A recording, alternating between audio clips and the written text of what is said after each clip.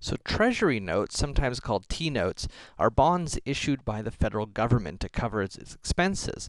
Uh, now suppose you obtain a $1,000 T-note with a 4% annual rate. So 4% is our annual rate, but it's paid semi-annually.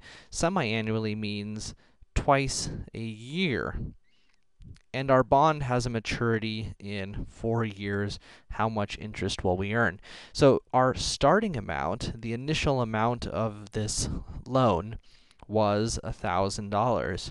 The interest rate, notice it is 4% as an annual rate, but if we're going to convert that to match uh, our time interval, we're going to need to say that it is 0.02, or in other words, 2%. So in other words, that's 4% uh, over divided by the twice a year, right, gives me 2% each semi-annual time period, each half year.